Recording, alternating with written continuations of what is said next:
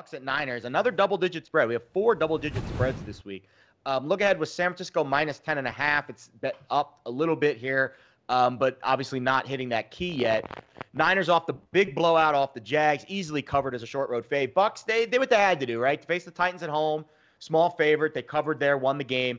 Um, obviously, a very different Niners team, guys, when you have Deebo and Trent Williams back. It just, they look like they got the swag back. NFL teams, it's impossible to stay like this the whole season. San, San Francisco took a dip. Now they're back up. Um, do we put them back in that threshold that they were before the three game losing streak, or do they still have some ground to make up, Cris? What do you mean by that? Had you docked them? I, I hadn't docked them very I, much I at all. I personally didn't, but I'm sure after losing three straight, some people did.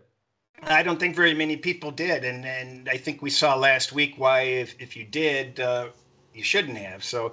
Uh, San Francisco's the creme de la creme of the NFL as far as uh, my model shows and as far as my eyes show. So uh, the eyes and the model actually match. Uh, I want to be involved with this team. I think that they win this game hands down. Uh, earlier in the week, I was able to get involved with them at uh, at pick'em level, but at 12, I'm going to be on them with a three team teaser. 10 we're going to throw the 10 pointers into play this week. And i'm going to lay the two points with san francisco. And i'm going to use the other two legs to get value on two underdogs minnesota and philadelphia. You know i'm kicking myself for not having played one of these 10 point teasers which frankly my friends say do have value at times i just uh, haven't you, you can't do everything and when Miami went, was laying 12 and a half, that was like the poster child of one you would have loved to have put in. I mean, too, too late now. Uh, I do want to, I'm going to disagree. Um, everybody severely downgraded the Niners. Um, and the best evidence I can give is that we we have a very short term memory here, Cris. Just last week, we had a slightly above average Jacksonville team catching only three against the 49ers. So obviously going to our time machine, that was that was a ridiculous line um, because you know the 49ers absolutely you know boat raced them, but they only had to lay three. So it goes to show if you can find a dominant team that um, just happens to have losses when they miss field goals to win games like in Cleveland, you can get them at tremendous spots. And yes, I, indeed, I do agree directionally. Uh, Kansas City and San Francisco, the two best teams in the NFL right now.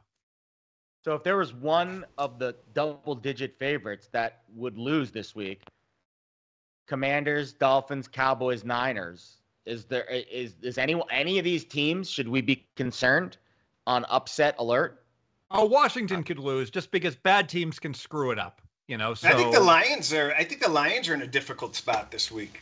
Yeah, I guess the Lions are kind of eh, hovering in double digit range. Maybe it gets probably not after the Fields news. But you would never use a 10 point teaser with a 10 point favorite. That never. I won't bore everyone with the math. It needs to be a 12 yeah. point favorite. That's the sweet spot. But if the dot like like let's say the Dolphins gets back to 13, it won't. But let's say that it does. Dolphins to three, Cowboys to one, Niners to two. Is that no? Because most get books, under the three.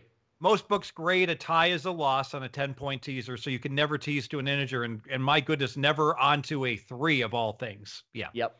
Okay, for There's sure. Your answer. So the Dolphins are off the list because that ain't getting back to 12 and a half. No chance, no way. So uh, might have to find the value elsewhere. Uh, Cris is using a couple of dogs, which we'll get to uh, a little later in the show uh, for the other legs of his 10 point teaser. But the Niners should take care of business this week at home to the Bucks.